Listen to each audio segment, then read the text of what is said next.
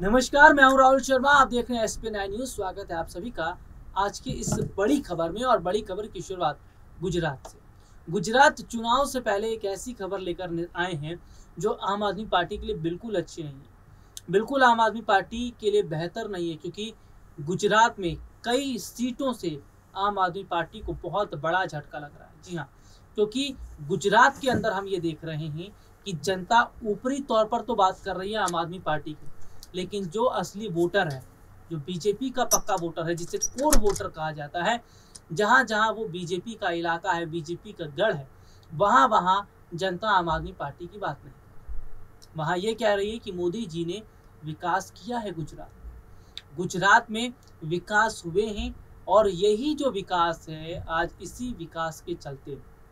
आज इसी हालात को जो देखा जा रहा है, वो जो माहौल बना हुआ है। ये सीधे तौर पर बताता है कि शायद आज कहीं ना कहीं जो परिस्थितियाँ बनी हैं, आज कहीं ना कहीं जो हालात बने वो सीधे तौर पर ये इशारा कर रहे हैं कि कैसे बहुत बड़े हद तक चेंजेस जो परिवर्तन हो रहा है, इसका मतलब ये है कि आम आदमी पार्टी चुनाव में उतरी ज़रूर है।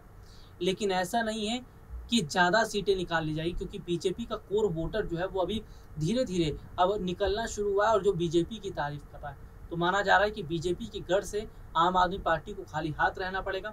इसके साथ ही ये भी देखा जा रहा है कि बीजेपी गुजरात चुनाव जीतने के लिए एड़ी चोटी का पूरा ज़ोर लगा रही है। गुजरात चुनाव जीतने के लिए बीजेपी ने जो रणनीतियाँ बनाई है, वो रणनीतियाँ एक बड़े स्तर पर कामयाब होती नज़र आज के लिए इतना ही। आपसे फिर दोबारा मुलाकात होगी। तब तक ले जा दीजिए। नमस्कार।